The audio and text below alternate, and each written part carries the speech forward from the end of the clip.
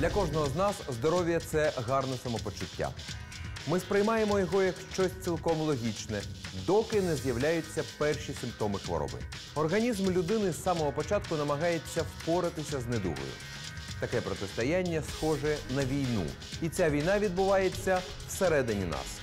В нашому циклі програм ми детально покажемо та розкажемо, як саме розвиваються різні хвороби в організмі людини, як діють медичні препарати та різноманітні методики лікування. Адже здоров'я це головна цінність кожної людини. І тому важливо розуміти, що і як відбувається всередині нас.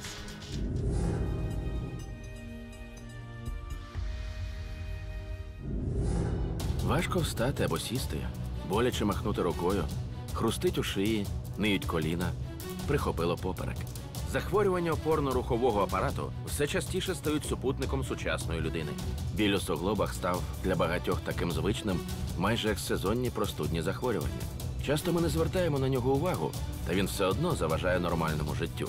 Багато людей плутають артрит і артроз, вважаючи їх різними назвами однієї хвороби. Проте вони дуже відрізняються один від одного. Єдине, що їх поєднує, це те, що вони вражають та знищують суглоби. Так, без певного контролю та лікування цих хвороб можливі незворотні зміни в організмі, що врешті-решт може позбавити нас можливості рухатися. Медична статистика стверджує, що на артроз страждає близько 15% людства. Це дозволяє назвати його одним із найпоширеніших захворювань опорно-рухового апарату. Ризик розвитку артрозу також зростає з віком. Так, у людей молодше 30 років артроз зустрічається в 25% випадків. А після 60 років його ознаки можна знайти фактично в кожної людини. Найчастіше артроз діагностується на великих суглобах нижніх кінцівок, які протягом життя несуть величезне навантаження. Артрозом колінного суглоба, наприклад, страждає близько 20% жителів Землі, а це практично кожен п'ятий з 7 мільярдів населення планети.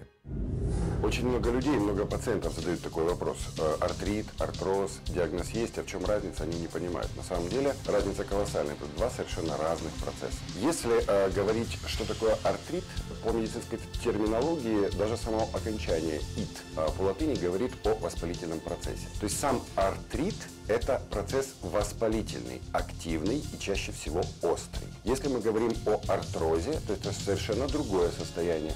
Это состояние хроническое, состояние, возникающее из подваль, часто незаметно. И это состояние э, в медицине называется дегенеративно-дистрофический процесс. И часто э, звучит как не просто артроз, а деформирующий артроз. В этом есть очень большая глубокая мысль, что мы на сегодняшний день столкнулись с проблемой.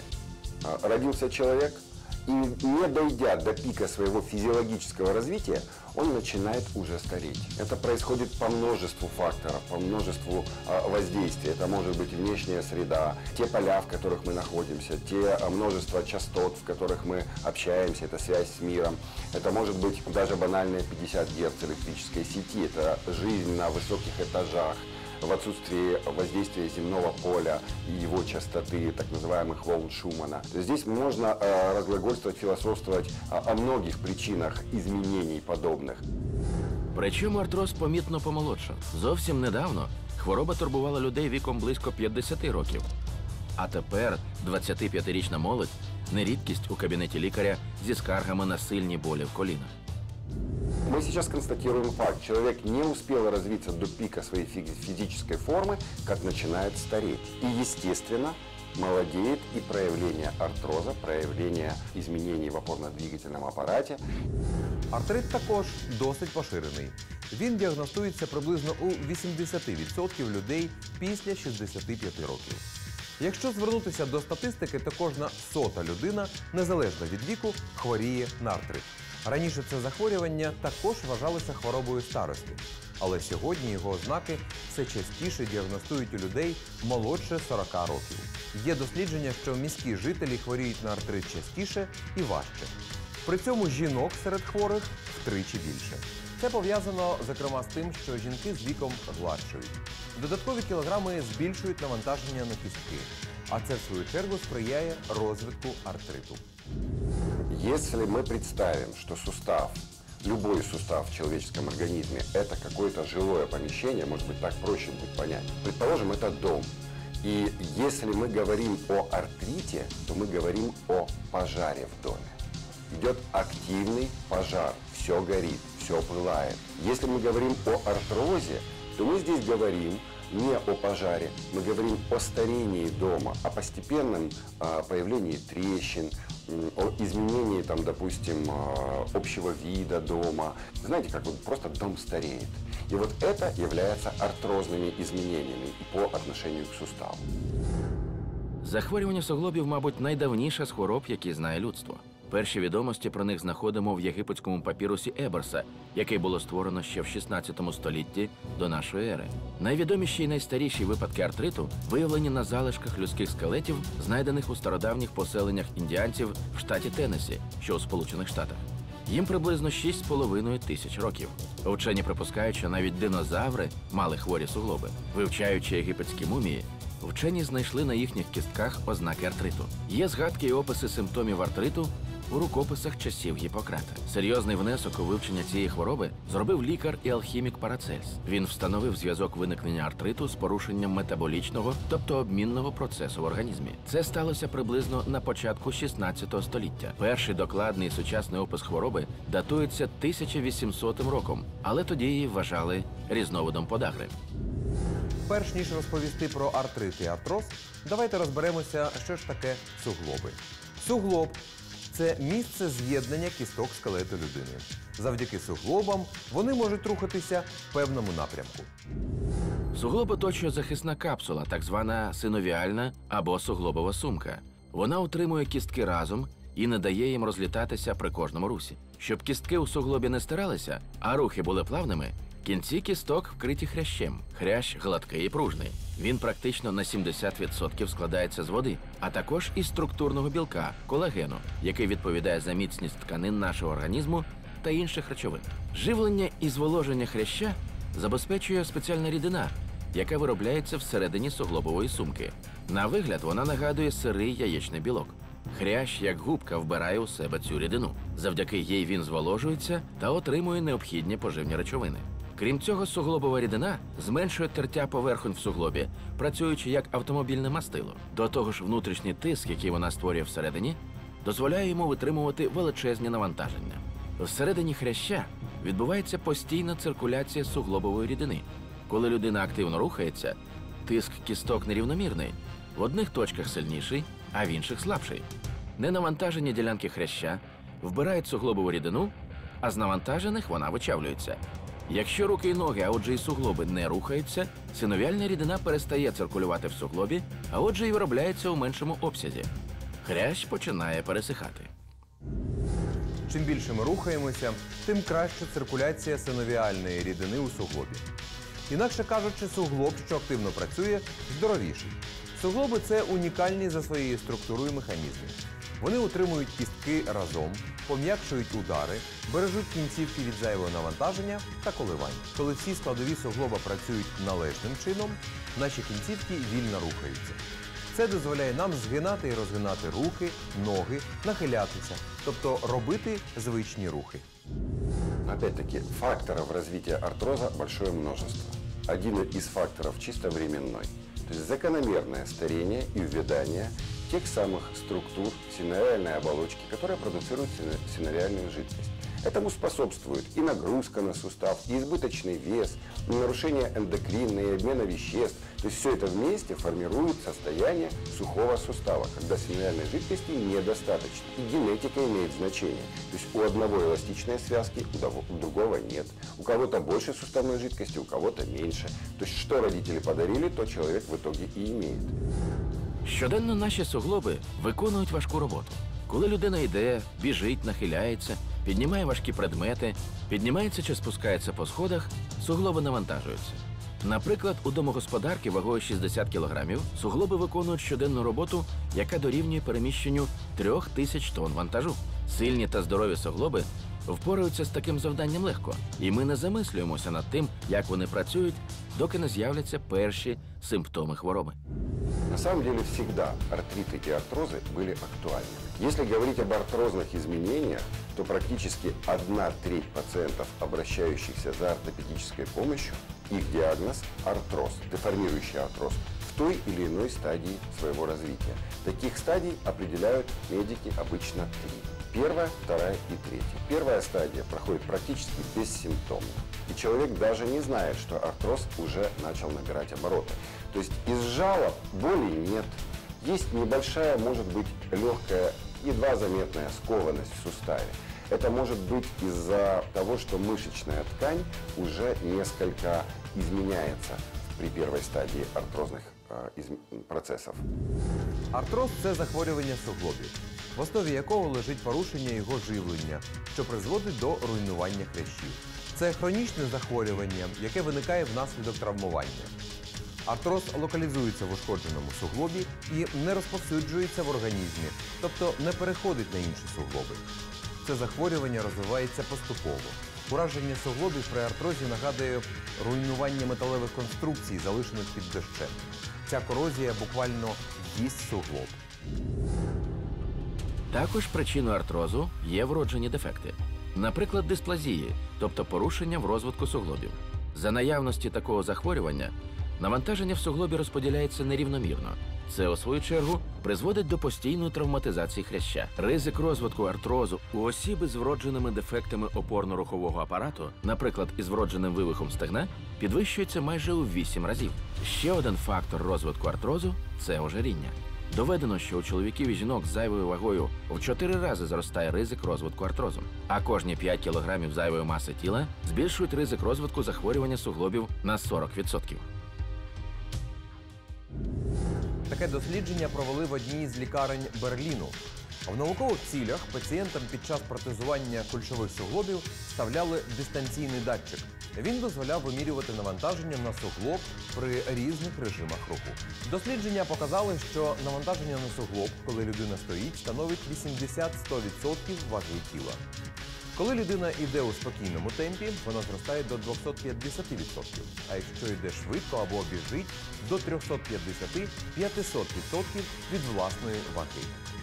Тобто, коли людина біжить, навантаження на кульшові суглоби перевищує у 5 разів вагу тіла.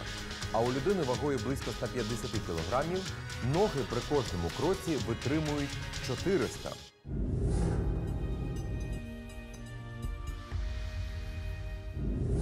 Давайте зупинимось докладніше на тому, як розвивається артроз.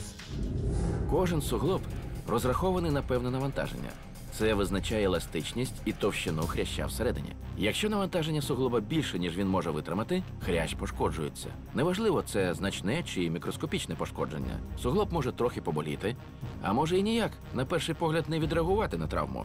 Розрив заживає, і в цьому місці відбувається окостеніння, тобто кістка з'являється там, де її не повинно бути. Суглоб постійно перевантажується, і в ньому утворюються все нові й нові мікроскопічні тріщини хряща. В результаті процеси пошкодження та загоєння відбуваються постійно, і в тканинах хряща постійно йде процес окостеніння. Ось таким чином починається і розвивається артроз у осіб, які виконують важку фізичну роботу з постійним перевантаженням суглобів. Особливо це стосується спортсменів. Наприклад, під час бігу існує фаза польоту, коли обидві ноги не торкаються опори і тіло ніби летить у повітрі. Коли ж людина торкається землі, на опорну ногу припадає навантаження, яке в 5 разів перевищує вагу її тіла. На первый взгляд, э, костная структура нами воспринимается э, как что-то твердое, как что-то незыблемое. Ведь кости это что-то очень твердое. На самом деле это не так. А, Я иногда привожу такой пример. Костная структура подобна восковой свечи. Если мы берем свеч- свечечку в руки, мы видим, что она вертикальная, как бы мы ее ни крутили. Она достаточно жесткая, тверденькая, парафин твердый. Но если мы эту свечу возьмем между двумя пальчиками и по центру немножко надавим, не сильно, так, чтобы свеча не сломалась. И начнем ее вот в этом положении напрягать, держать. 5 минут, 7 минут. Мы с вами заметим, что через 5-7 минут свеча приобретет уже полукруглую форму. Она не, лом- не сломалась, она просто деформировалась. Костная структура крепкая, но, безусловно, она подвержена таким же воздействиям. И эти воздействия – та нагрузка, которую мы испытываем ежедневно. Почему и процесс артроза называют деформирующим? Потому что костная структура под нагрузкой, осевой нагрузкой, под рабочей нагрузкой, она постепенно претерпевает некоторые изменения. Она деформируется. Під час розвитку артрозу відбувається деградація хряща, тобто порушується рівновага між утворенням нового будівельного матеріалу для відновлення хряща та його руйнуванням.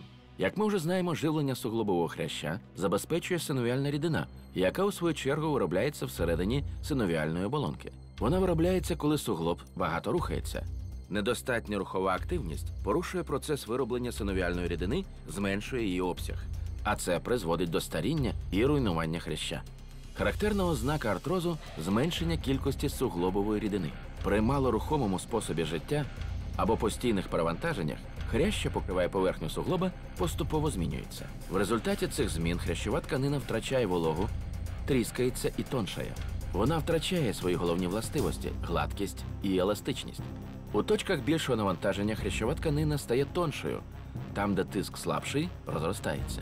Навантаження в суглобі при цьому розподіляється нерівномірно. Хрящ лущиться. Дрібні фрагменти хряща потрапляють у суглобову рідину, що погіршує її змащувальні та зволожувальні властивості. З часом відбувається фактично повне стирання хряща ураженого суглоба. Оголені кісткові кінці, незахищені хрящем, стикаються між собою, що викликає больові відчуття. Тертя з часом призводить до розростання кісткових кінців, утворюються так звані остеофіти або кісткові вирости. Остеофіти трохи стабілізують суглоб, зменшують тиск на стоншені ділянки суглобового хряща, але разом з тим обмежують амплітуду рухів у суглобі. В результаті відбувається деформація суглоба, що призводить до порушення його рухової функції. Артроз найчастіше вражає колінні та кульшові суглоби, а також суглоби великого пальця на ногах. Трохи рідше гомілково-стопні суглоби і ті суглоби пальців рук, що розташовані ближче до нігтів, міжфалангові суглоби. Найгірший варіант розвитку артрозу руйнування суглоба, що призводить до його повної нерухомості. Тобто, якщо артроз не лікувати, цілком реально провести решту життя в інвалідному візку. Рівень інвалідності при відсутності лікування дуже високий. Артрит э, неизбежно приведет к развитию артроза. То есть сначала процесс начинается воспалением, то есть сначала воспалительная реакция идет, артрит, а потом артрит э, переходит в артрозные изменения. И если не э, воздействовать на этот процесс, он может уничтожить сустав э, практически полностью, в третью стадию ввести его в анкилоз за 4-5 месяцев. А що ж таке артрит? Артрит виникає внаслідок запалення суглобу. Часто біль і запалення в суглобах при артриті лише верхівка айсберга, під якою ховаються інші, іноді смертельно небезпечні процеси. Адже артрит може бути проявом таких інфекційних захворювань, як хламідіоз і гепатит. Це захворювання можна порівняти з пожежею, яка раптово охопила будівлю. При цьому артрит може спочатку вразити один суглоб, а потім перейти на інший. Так само і пожежа починається з однієї кімнати та поступово охоплює інші. На відміну від артрозу, причиною виникнення якого є механічне пошкодження хреща в суглобі, причин виникнення артриту набагато більше. Происходит ушиб самой самой кости. Была травма, там пациент играл, упал, допустим, ударился коленом суставом. Как бы, возможно, ничего не произошло. Он встал, поднялся, побежал. Поболело 2-3 дня колено, оно зажило, все прошло. Но потом э, происходит изменение в самой костной ткани из-за контузии, из-за ушиба мягких тканей и самой кости. Эти изменения, в общем-то, они незаметны внешне. Пациента начинают беспокоить какие-то боли, какие-то припухлости. Эта травма была там, два месяца назад. То есть сразу, если по алгоритму идти, то если у пациента была травма, значит это либо повреждение хряща, либо, как правило, повреждение мениска. Это такой орган в коленном суставе, который э, необходимо отвечать за адаптацию суставных поверхностей. Артрит може розвинутись внаслідок інфекції або травми. Його виникнення може спровокувати алергія, порушення обміну речовин, захворювання нервової системи або навіть просто нестача вітамінів. Є загроза ураження суглобів артритом внаслідок порушень імунітету, переохолодження та надмірного фізичного навантаження. Але найчастішою причиною є перенесені інфекційні захворювання, наприклад, туберкульоз, паротит, стафілококові та стрептококові інфекції. Зупинимось на тому, як виникає і розвивається в організмі один із найпоширеніших артритів ревматоїдний. Це захворювання відносять до аутоімунних. Зазвичай імунна система знищує чужорідні організми, які потрапили до нашого тіла. А при аутоімунному захворюванні вона з незрозумілих причин починає атакувати клітини свого ж організму. Першою під удар ревматоїдного артриту потрапляє синовіальна оболонка суглоба, яка оточує суглобову капсулу. В ній виникає запалення, так званий синовіт. При аутоімунному запаленні суглобів це означає серйозне пошкодження, а подекуди і руйнування хряща навколо хрящової кісткової тканини сухожиль. Запалення при артриті можна порівняти з пожежею або війною, під час якої пошкоджується, а подекуди і руйнується не тільки хрящ, а й навколо хрящова кісткова тканина, а також сухожилля. Когда структура, хрящевая структура в суставе видоизменяется, иммунная система нашего организма не всегда распознает эти клетки хрящевые как свои собственные. Когда они были нормальные, когда они были э, в идеальном состоянии, организм понимал, это своя структура и агрессию по отношению к своей структуре не проявлял. Если уже хрящевая ткань претерпела изменения, пускай даже суставная сумка синевиальной оболочки претерпела какие-либо изменения в результате активного воспалительного процесса того самого пожара, то иммунная система может не распознать правильно свой чужой. И она воспринимает хрящевую структуру или хондроциты, из которых состоит хрящевая ткань, она воспринимает как чужеродную ткань и пытается проявлять агрессию против собственной ткани. Вот здесь мы говорим о извращенном, неправильном ответе иммунной системы на ткань, на собственную ткань, э, которая претерпела изменения в результате воспалительных реакций. И тогда называется э, процесс уже аутоиммунный. Спочатку у вогнищі запалення збирається справжня армія, Яка складається з солдатів, клітин, які це запалення викликають. Такими клітинами в цьому процесі виступають лейкоцити, які зазвичай виконують роль захисників. У клітинах починають вироблятися різні речовини, які підтримують запалення. Арсенал зброї цих клітин дуже багатий. Тут і вільні радикали кисню, які руйнують хрящі та кістки, і особливий білок комплемент, який зазвичай виступає на боці імунної системи, і імуноглобуліни, і багато інших речовин. Командують процесом у вогнищі запалення так звані медіатори або сигнальні молекули. При контакті з іншими клітинами вони впливають на діяльність цих клітин, змінюючи її. Наприклад, при запальному процесі медіатори збільшують здатність стінок кровоносних судин пропускати через себе речовини, що у свою чергу викликає набряк. Під впливом медіаторів клітини, що знаходилися у спокійному стані, розпочинають військові дії. Суглоб червоніє, набрякає, на дотик стає болючим, навколо нього підвищується температура. Так запалення поширюється в усьому організмі. Це призводить до появи відчуття втоми, втрати апетиту, виснаження, підвищення температури. Інколи під впливом медіаторів аутоімунне запалення розвивається і в інших органах в кровоносних судинах шкіри, травному тракті, легенях. Але повернемося до хворого суглоба, де продовжуються бойові дії. Під впливом запалених клітин, що скупчуються в суглобовій капсулі, суглобова оболонка починає виробляти надто багато рідини. До речі, цим артрит суттєво відрізняється від артрозу. Набряк суглоба збільшується. При цьому суглобова рідина містить багато запалених клітин та речовин. З часом запалення проникає до сполучних тканин суглобової капсули. Внутрішня оболонка суглоба при цьому потовщується у тисячі разів. Утворюється так званий панус, що в перекладі з грецької означає шматок тканини. Панус є пухлиноподібним розростанням внутрішньої оболонки суглобової капсули, яке продукує речовини запалення. Він покриває поверхню кістки і руйнує спочатку хрящ, а потім кісткову тканину, яка знаходиться під ним. У кістках виникають порожнечі. Їх добре видно на рентгенологічних знімках, наче від краю кістки хтось відкусив шматочок. Панус вкриває уражений суглоб м'яким прошарком, який вже ніколи не зникає. Через зміни в хрящах і кістках поверхні суглобів втрачають свою початкову форму та вигляд. Тканини навколо суглоба, капсула, сухожилля і зв'язки всі втягнуті в запальний процес. Вони більше не можуть утримувати суглоб в правильному положенні. Суглоб стає нестабільним і виникають його деформації. Втративши свою форму, суглоб втрачає і можливість правильно працювати. Наприклад, рукою, яку вразив ревматоїдний артрит, не можна втримати чашку або олівець, тому що деформовані пальці не згинаються. У артрита є одна характерна ознака. Якщо суглоби уражені на правій руці чи нозі, то майже обов'язково прояви артриту з'являться і з лівої сторони. Коли людина хворіє на артроз або артрит, одягання, прибирання, приготування їжі, робота, навіть похід в туалет можуть стати з часом їй на підсилу. Погіршення стану позбавляє людину можливості працювати і призводить до інвалідності. Не дивно, що це захворювання здатне впливати і на тривалість життя.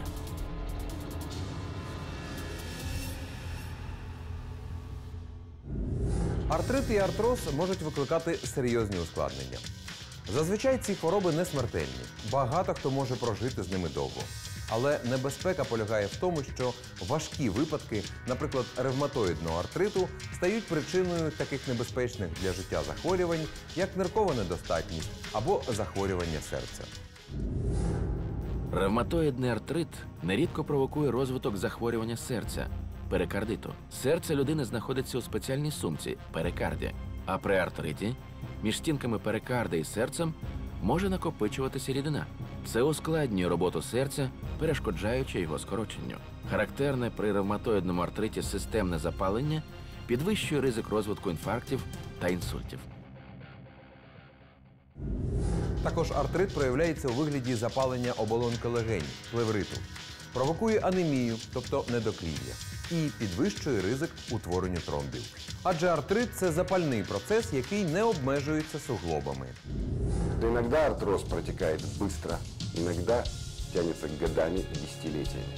Но неизбежно результат артроза – это нарушение функции сустава. В результате возникших деформаций, костных разрастаний а по краям сустава, э, деформации самих суставных поверхностей, остеофитоз. И в итоге суставная щель полностью исчезает, сустав становится сухой. Тот самый гиалиновый хрящ как буквально как язвы на нем появляются. Он оголяет субхондральную зону, вот ту самую пластиночку замыкательную, э, границу костной ткани. И в этой ситуации мы уже можем наблюдать, как наждачка трется об наждачку. То есть практически голые костные поверхности, там, где должен быть хрящ, э, они становятся обнаженными. Именно там, в этой субхондральной пластинке, есть э, нервные окончания.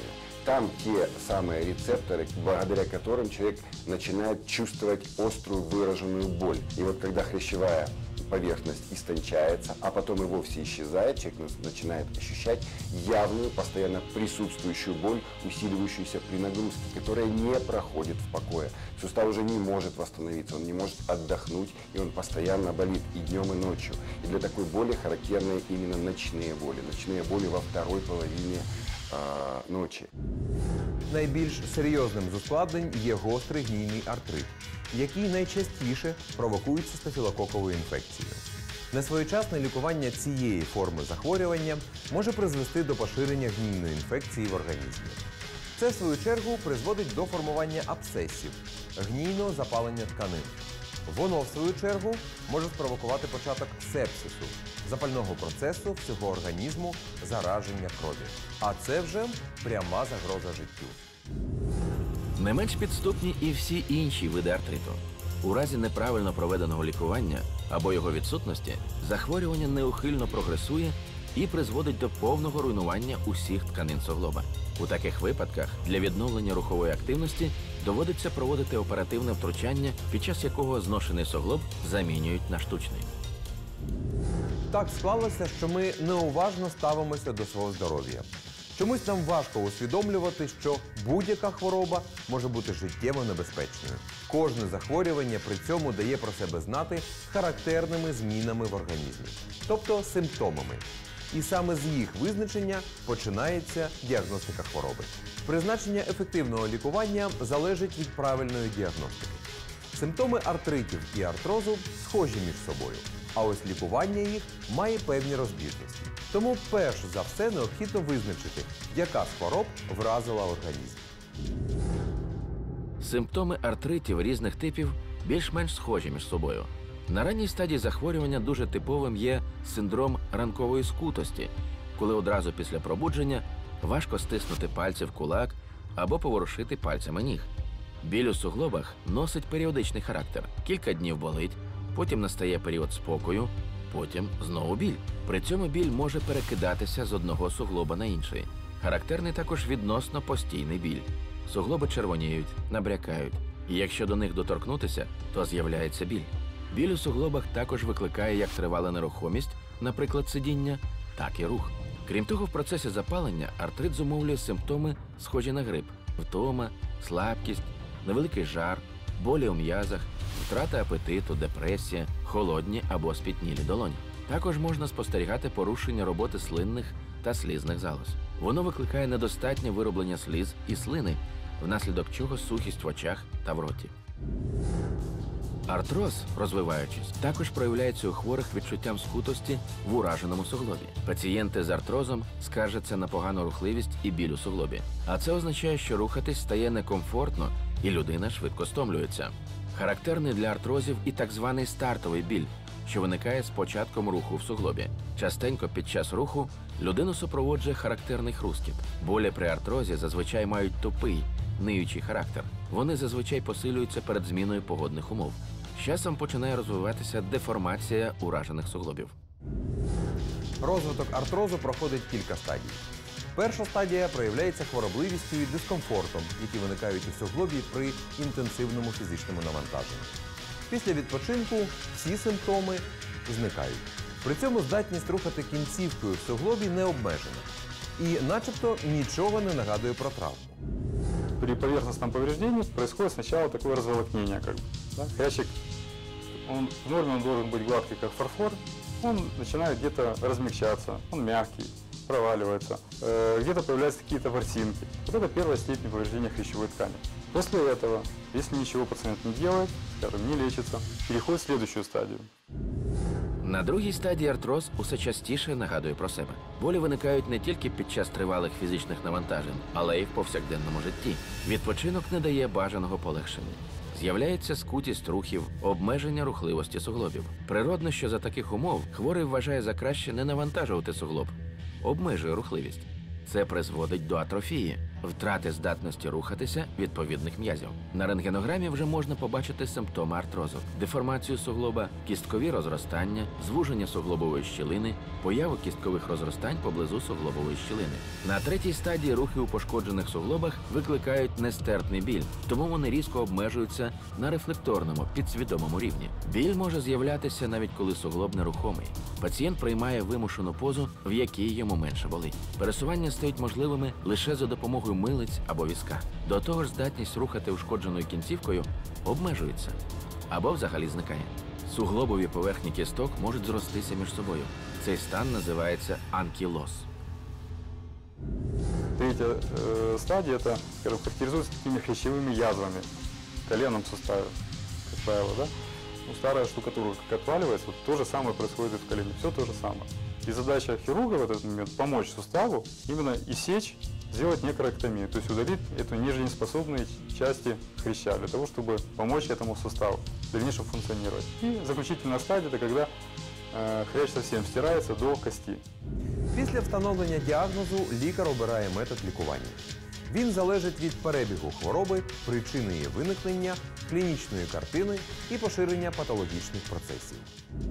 Значит, многие пациенты, пошла такая тенденция, делают УЗИ коленного сустава. Это не самый необходимый метод диагностики для диагностики артроза. Основное это всегда было и есть это рентген. Это рентгенография, то, с чего нужно начинать. Второй метод исследования дополнительный – это МРТ. Если будет необходимость доктору что-то уточнить, он назначит на УЗИ, но это не первостепенная задача. Лікування артриту спрямоване на те, щоб зменшити біль, зняти запалення, уповільнити або зупинити пошкодження суглобів. А ще поліпшити здатність суглобів повноцінно функціонувати.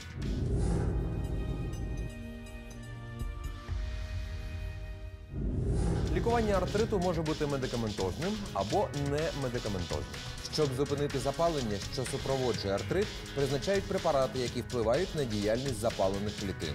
Вони пригнічують синтез ферменту, що руйнує суглоб. Також широко застосовують знеболюючі препарати, які лікар призначає індивідуально. І так звані хондропротектори препарати, які стимулюють процеси відновлення хряща і уповільнюють дегенерацію хрящової тканини. До немедикаментозного лікування відносять такі заходи, як використання при ходьбі тростини, наколінника, взуття з фіксованою п'ятою, спеціально підібраним супінатором. Також гарний результат і зменшення навантаження на суглоб дає схуднення, якщо є зайва вага.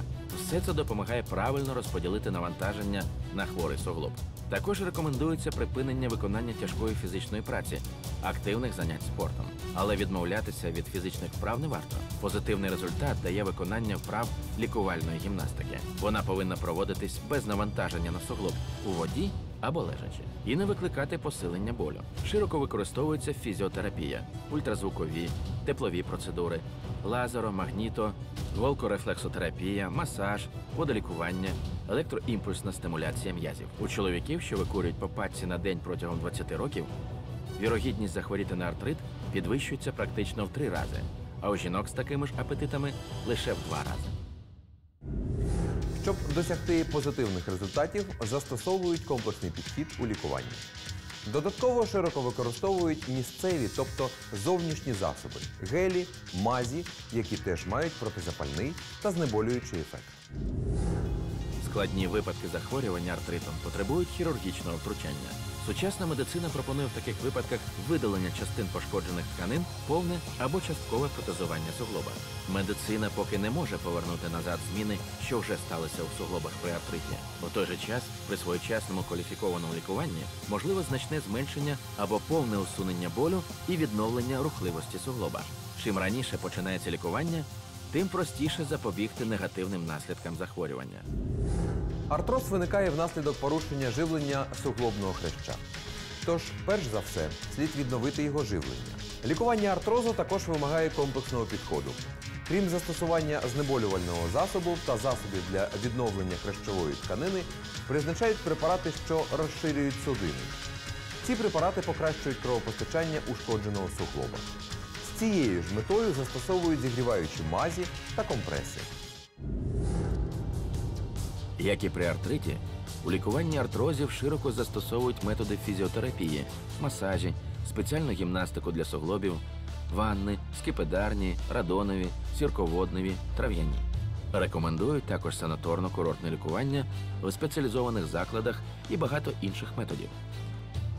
При складних випадках артрозів вдаються до хірургічних методів лікування.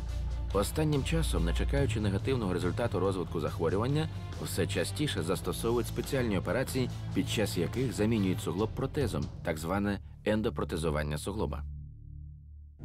Что касательно дальше оперативных методов лечения, да, на сегодняшний день продвинутые по технологиям, это малоинвазивные, малоинвазивные оперативные вмешательства, допустим, та же артроскопия, благодаря которой через там, маленький прокол видеокамера вводится в сустав, коленный, тазобедренный, голеностопный, И идет микроинструментом оперативное вмешательство. Такие пациенты восстановление быстро. Если раньше пациентов держали в гипсе, то есть период восстановления был очень длительный, то сейчас на второй день после операции все, подниматься и идти домой. Артроскопия это не одна, не единственная процедура, потому что не всем пациентам показана артроскопия. Радикальный метод лечения это эндопротезирование сустава, тазобедренный, коленный, реже, там, голеностопный практически нет, плечевой сустав. Есть что это такое? Это, грубо говоря, замена своего сустава на искусственный. Это радикальный метод лечения. И на самом деле э, он очень эффективен, эффективен в- во многих случаях и пом- помог очень многим пациентам. Вообще это оперативное вмешательство, которое должно стоять вообще в последнем списке опера- оперативных вмешательств по, э, для лечения артроза. Лікувати ускладнення хвороби дуже важко та дорого, тому значно простіше попередити захворювання. Для того, щоб зменшити ризик захворіти на артрит або артроз, достатньо вжити простих заходів. Фізичні вправи важливі для підтримки здорових і сильних м'язів, збереження рухливості та живлення суглобів, а також підтримки гнучкості. Навіть в разі захворювання артритом або артрозом індивідуально підібраний рівень навантаження та вправи допомагають зменшити біль.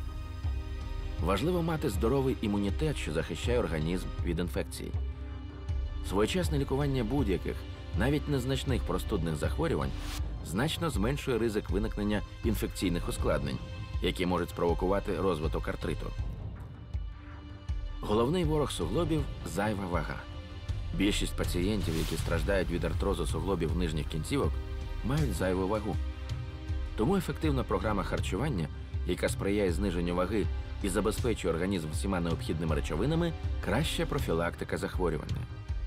Артрит або артроз виникають найчастіше через надмірне вживання продуктів тваринного походження, які порушують кислотно-лужний баланс в організмі і тим самим сприяють виникненню запалення і болю.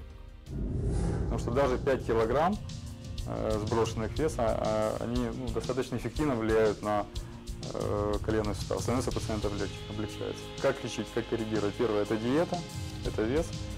Второе – препараты, содержащие глюкозамины.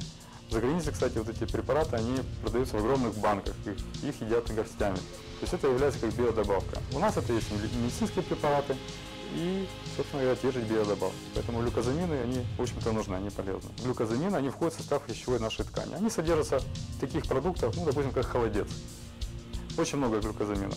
Производят инъекции гиалуроновой кислоты. Это то, что женщины любят себе в лицо. То же самое. Препараты есть специальные, которые э, предназначены именно для введения в сустав. Коленный, тазобедренный, локтевой, неважно какой, при артрозе. Именно тоже дает какой-то эффект. Але в той же час білки сприяють відновленню хрящової тканини, тому остаточно відмовлятися від них не варто. Корисні для відновлення суглобів молочні продукти. Молочний білок легко засвоюється організмом.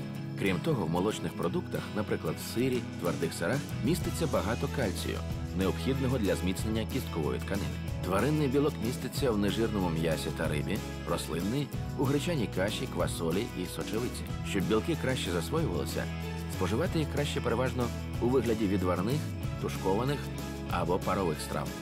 Вважається, що при артрозах корисні холодець або желе, що готуються на основі кісткового бульйону. В такому бульйоні міститься велика кількість колагену, необхідного для побудови хрящової і кісткової тканини, м'язів і зв'язок. Також корисний харчовий желатин. Він, як справжній хондропротектор, сприяє відновленню хрящових тканин. Здоба та солодощі містять так звані прості вуглеводи, що легко засвоюються організмом. Значна частина їх іде на поповнення жирових запасів організму. Це провокує появу зайвої ваги. Складні і корисні вуглеводи містяться в овочах і фруктах. Смоктуються вони повільно, тому не перетворюються у жирові відкладення. Жири необхідні.